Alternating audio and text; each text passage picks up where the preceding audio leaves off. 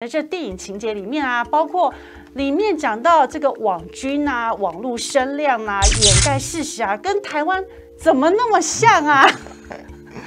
好，那我们就先来看这个片段，我们取得 Netflix 的版权，我们来看一段。Tell me about it. You got twenty minutes. Twenty minutes? Go. Uh, a comet between 5 to 10 kilometers across that we estimate came from the Oort cloud. And using Gauss's method of orbital determination and the average astrometric uncertainty of 0.04. Whoa, whoa, whoa, whoa, whoa. The hell is So what? bored. Just tell us what it is. This- this- Seriously, stop. What Dr. Mindy is trying to say is that there's a comet headed directly towards Earth. And then what happens? Like a tidal wave? It will be far more catastrophic. There will, there will be mile high tsunamis. So how certain is this? There's 100% certainty of impact. Please, don't say 100%. We interrupt this broadcast of Jackpot Fiance for an emergency message from the President of the United States. Citizens of the United States and peoples of the world, I have just been handed scientific findings that confirm a worst case scenario. An unprecedented comet, nine kilometers wide, is now on a direct collision course with our cherished home.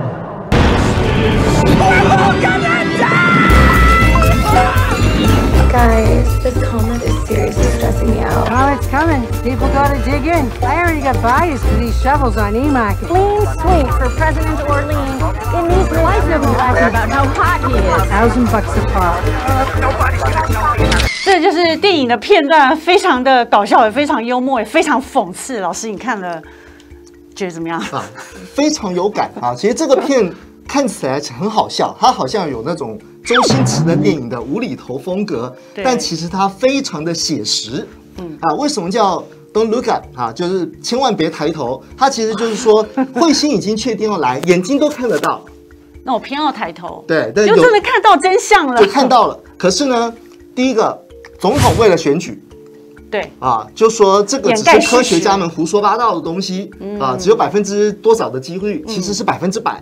对啊，所以第一个政治干预科学，政治干预对不对？那就跟美国的防疫啊，还有台湾的能源政策啊，这都很像。高端疫苗对 EUA 强行对通过，没错很像啊。啊，可是第二个是什么？第二个是很多老百姓他觉得事实不能改变，或者是他很相信这个政府，或者他很讨厌另外一个政党。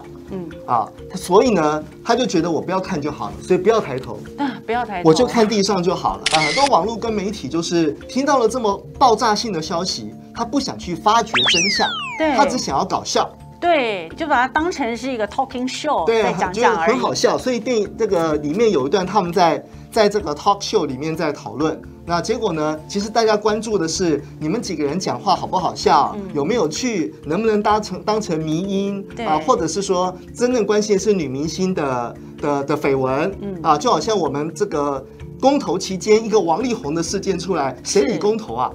我觉得当时中天去年在被关台的时候，当天哦，本来是这个军机掉下来，大家都在找尸骸，嗯还找不到，已经第不知道第五还第六天，突然下午就宣布说中天要被关掉了。